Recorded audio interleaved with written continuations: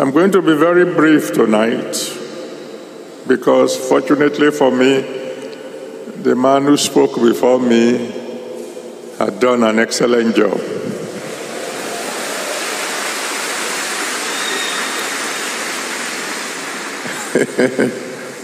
Everything he learned from me, he re- repeated. As a very good son, if you can repeat what your daddy says, he shouldn't have been saying, that he told us. He should have just gone ahead and say it as if he's the one saying it for the first time. it was very beautiful, very beautiful presentation. Praise God.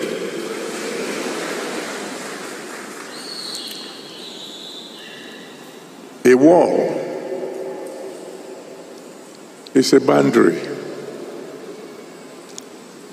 The elders will tell you, even when the farm belongs to both father and son, there will still be a boundary.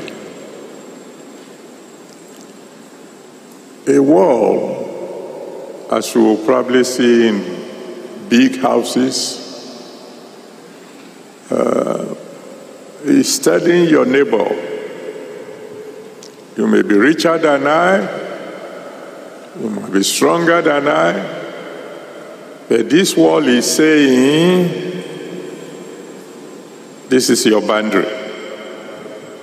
It's how far you can go and no further.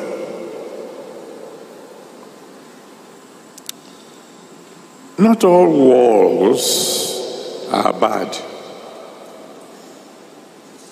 When, when you see, if you go to Ikoyi or VI, you see some mighty houses, you see big walls around them. And he's simply saying to all those who are outside the wall,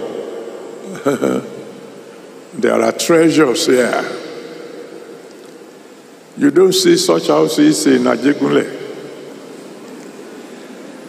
Don't see us building mighty walls around our houses in Mushin. And when you go to places where uh, within the walls there are treasures, the walls are high.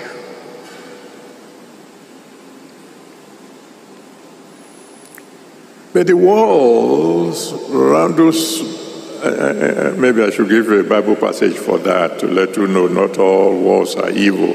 Revelation chapter 21, from verse 10 to 12. Revelation 21, from verse 10 to 12, talks about uh, the Holy Jerusalem, the great city of God, surrounded by walls. Because within that city, all manners of precious things are. But it's simply saying the walls that are great and high, etc., etc., is telling outsiders you can see the wall, but you can't come in. So, walls basically means that which tells you thus far you can come and no further. And so you, you find that walls are in categories.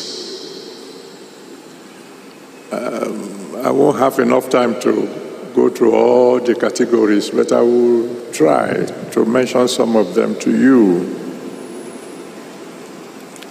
There are some walls that are natural. They were, they, they, were there. Some walls, like, uh, say, the Red Sea. The Red Sea had been there for donkey years since, since the world was formed. It only became a wall when the children of Israel were on their way to the promised land and he stood in their way. I can give you an illustration of, of that straight away. Uh, when you were born and you were born black, there's nothing wrong with being born black, depending on where you are born, depending on which nation. there are some nations in the world that if you're a black man, there's a limit to how far you can go. Want to move beyond a certain level, they tell you, eh, eh, eh, Praise the Lord. We thank God that you are staying tuned with us till this moment. I would like you to ensure you key in to the prayers that you've just heard and received by faith so as to receive the fullness of the manifestation of what you have prayed for. Now, faith is the substance of things hoped for, the evidence of things not seen. Don't throw away your faith. Keep it up and ensuring that Jesus brings to you every of your heart desire as you make prayer a lifestyle.